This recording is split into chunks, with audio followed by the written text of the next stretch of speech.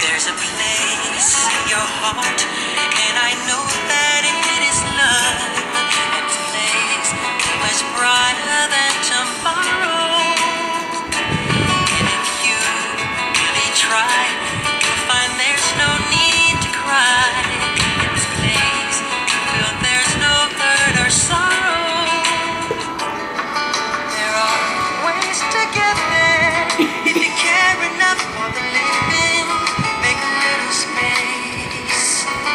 like